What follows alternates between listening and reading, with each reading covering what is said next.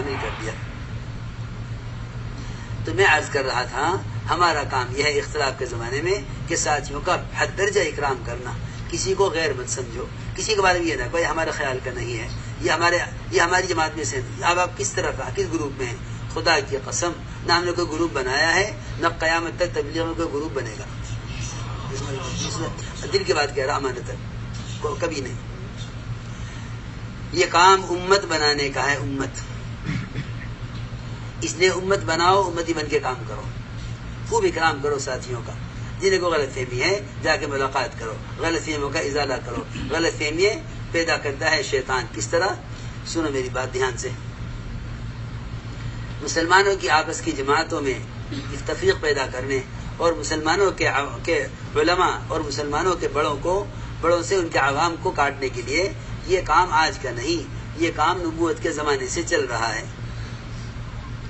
क्योंकि जब शैतान ने देखता है कि उम्मत में इज्तमाहीत और उम्मत में इताअत और उम्मत में दीन का इस्तकबाल बढ़ रहा है तो वह आपस में इख्तलाफ पैदा करने के लिए बदगुमानी पैदा करता है। और गलत खबरों से दिलों के अंदर, यानी दिलों के अंदर बदगुमानी पैदा करता है और साथियों को साथियों की तरफ़ से बदजन कर देता है। साथी तहकीक नहीं करते सुनी हुई बात पर कोई कदम उठा उठा लेते हैं। मेरी बात ध्यान से सुनना। जब आप दावत लेकर आए तो उम्मत में दीन की तलब पैदा हुई। उम्मत में तलब पैदा हुई। ऐसी तलब ऐसी तलब के जक़ात का अदा करना एक इंतहाई महबूब अमल बन गया। हजूर अक्रम ने एक साहबी को भेजा कि जाओ, बनु मुस्तलिक से जक़ात वसूल कर लाओ। ये बड़ा कबीला था कबाइल में से, बनु मुस्तलिक। ये एक अदना, एक अकेले सहाबी उनसे जक़ात वसूल करने के लिए गए। रास्ते में इधर तो ये चले उनसे जक़ात वसूल करने के लिए, और उधर से पूरा का पूरा कबीला बनु मुस्तलिक, इनके आने की खबर सुनकर, इनकी, इनके इस्तकबाल में, इनके इकराम में कबीले, अपना पूरा कबीला बस्ती से बाहर निकल आया। कि हम उनका इकराम इकराम करेंगे, इस्तकबाल करेंगे बाहर निकल कर कि अल्लाह के रसूल की तरफ़ से साई आ रहा है जक़ात वसूल करने के लिए। जब मुनाफिक ने ये देखा कि अच्छा इनका, इनकी मरकजियत से ऐसा ताल्लुक है एक आदमी अकेला पूरे कबीले की जक़ात वसूल कर लेगा। इनके अंदर ऐसी इज्तमाही और इतात है और इनमें जक़ात के फरीजे की, की का, का, इतना अहतमाम है तो उस मुनाफिक ने आकर कान में कहा इन सहाबी के कहा जा रहे हो? कि मैं जा रहा हूँ जक़ात वसूल करने के लिए। इस मुनाफिक ने यह कहा तुम्हें खबर भी है वहाँ क्या हो रहा है?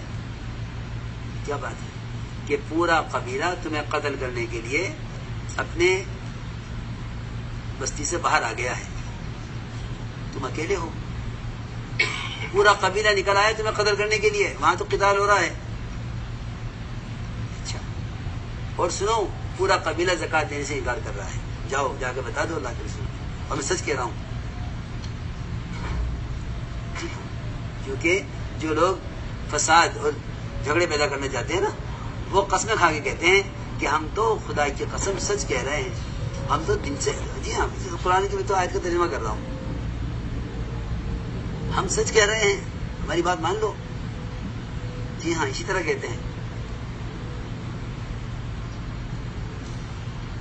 बल्कि कुरान में है वयुशुल्लाह अलामा फ़ी कल्बी कि अल्लाह को गवाह बनाता है अपनी सच्चाई पर। वह अलद्दुल खिसाम, कुरान में है। हालाँकि वो खाली झगड़ा हुए अलद्दुल खिसाम। तो इसने मुनाफिक ने कहा। मैं सच कह रहा हूँ तुम्हारे कदर के निकल आए हैं और जक़ात देने से इंतज़ार कर रहे हैं। ये सामी वापस हो गए खबर सुन ली है? क्या? खबर सुन ली? तहकीर तो की नहीं? खबर सुन ली है? ने जाके देखा ना, उनसे पूछा, कुछ नहीं। ये साहब वापस हो गए। आगे आपको खबर कर दी। आपने साहबों को जमा किया, मशवरा हुआ। क्या किया जाए? मशवरे में इतने पाया मशवरे में इतफाक इस पर हुआ कि रातों रात बनो मुस्तलिक पर हमला किया जाए और सबको कत्ल कर दिया जाए। सोचो, आप गौर करो। सबको सबको कत्ल कर एक भी नहीं छोड़ा क्योंकि जक़ात का से इनकार करना कुफर है। और हमारे आदमी को कत्ल करना चाहते हैं। जब साहब का इतफाक इस पर हो गया तो आयत नाजिल हुई कुरान यहाँ यहाँ सारे ईमान वालों को खिताब किया गया है। ए सारे ईमान वालों सुन लो अगर तुम्हारे पास कोई फांसी खबर लेकर आए तो तुम्हें चाहिए कि तहकीक कर लो। ऐसा ना हो कि तुम कोई ऐसा कदम उठा लो कि जिसके बाद सिवाय नदामत के और कुछ ना हो। तो मैंने अर्ज़ किया कि ये है, शैतान वसाविस पैदा करेगा, इख्तलाफ की बातें डालेगा। इस पर ले आएगा कि लोग एक आदमी के साथ से इख्तलाफ करके उसके अमल से, उसकी सही से, उसकी हर चीज़ इख्तलाफ करेंगे। जी हाँ ये इख्तलाफ बढ़ते बढ़ते इस पर आ जाएगा कि आमाल दावत से भी इख्तलाफ हो जाएगा।